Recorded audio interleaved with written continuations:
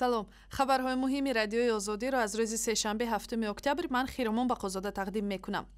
Додситонии кулли тоҷикистон созмони гурӯҳи бисту чорро дар талоши ғасби ҳукумат айбдор ва аз додгоҳи олии тоҷикистон дархост кард ки ин ташаккулро ҳамчун як созмони ифротгаро манъ кунад. Додситонии кул раҳбарони гурӯҳи бисту чор соҳибкорони мунаққиди ҳукумат умарали қувватов ва шарофиддин гадоевро ҷинояткороне унвон кардааст ки ҳадафашон ба ҳам задани амнияти кишвар аст мақомот мегӯянд ки мақсади асосии ин созмон бо роҳи зидди конститутсионӣ ғасб кардани ҳокимияти давлатӣ дар ҷумҳурии тоҷикистон мебошад.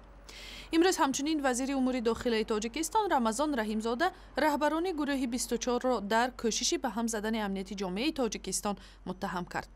Ҳанӯз вокуниши гурӯҳи бисту чор ба ин изҳороти мақомоти тоҷик дар даст нест. Мусоҳибаи рӯз бо ҳамкорам ганҷинаи ганҷ дар ҳамин бора аст ганҷина салом оё далели додситонӣ дар мавриди гурӯҳи бисту чор чӣ будааст бале хиромон додситони кулли тоҷикистон рӯзи ҳафтуми октябр бо нашри як баёнияи расмӣ гуфт ки баъд аз омӯзиши ҳадафҳои гурӯҳи бисту чор ба ин хулоса омадааст ки ҳадафи ин гурӯҳ аз роҳи зурӣ ва ғайриқонунӣ ғасб кардани ҳукумат дар тоҷикистон аст ва аз ин рӯ он бояд ҳамчун созмони ифротгаро мамнӯъ эълон шавад.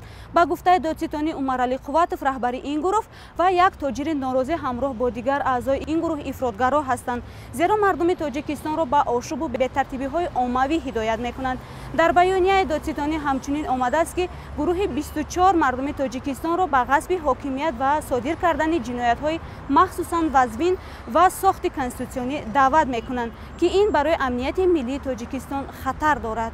Яъне э, ба ин тартиб ба зудӣ созмони гурӯҳи бисту чор ба феҳрасти ташкилоти мамнӯъ ворид мешавад бешубҳа ҳамин гуна мешавад. Зеро додгоҳи олии тоҷикистон дар робита ба дархостҳое ки ба амнияти миллии кишвар дахл дорад зуд тасмим мегирад ва шояд рӯзҳои наздик гурӯҳи бисту чорро мисли ҳизби таҳрир алқоидаву ҳаракати исломии узбакистон гурӯҳи ифротӣ эълон мекунад рӯзи сешанбе дастрасӣ ба шабакаи иҷтимоии фейсбук ки давоми ду рӯзи пеш баста буд қисман боз шуд. Корбарон мегӯянд ширкатҳои арзакунандаи хадамоти интернетӣ ба мисли вавилон ва телеком технолоҷи дастрасиро ба фейсбук озод карданд вале дигар ширкатҳо ба мисли сатурн ва мегафон дастрасиро ба ин сайт ҳамоно баста нигоҳ медоранд. Аз рӯзи якшанбе ба ин сӯ корбарони интернет аз маҳдуд будани дастрасӣ ба даҳҳо сайти хабаррасону шабакаҳои иҷтимоӣ хабар медиҳанд дар хадамоти алоқа имрӯз ҳам омода нашуданд ин вазъро шарҳ диҳанд.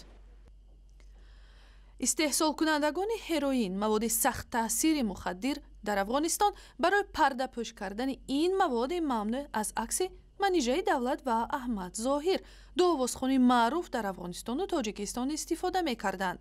То кунун бастаҳои мамнӯъе ки аз дасти қочоқчиён мусодира мешуд тамғаҳои кашдуму шерро дошт бастаи дигари ҳероин ки харитаи осиёи миёна дар он аккосӣ шудааст бо хате дақиқ самти тоҷикистонро нишон медиҳад.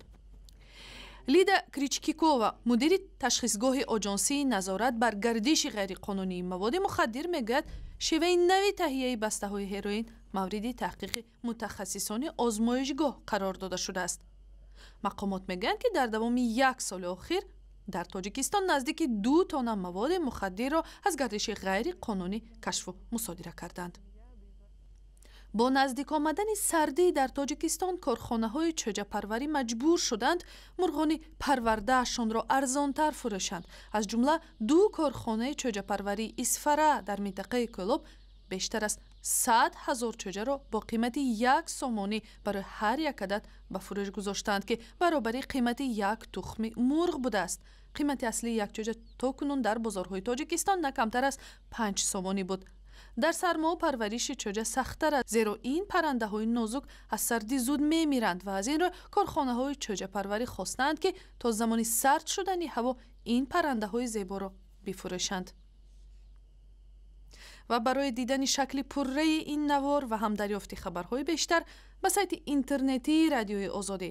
Саҳифаҳои мон дар шабакаҳои иҷтимоӣ фейсбук твиттер ютюб ва ҳам замимаи радиои озодӣ барои телефони ҳамроҳ муроҷиат кунед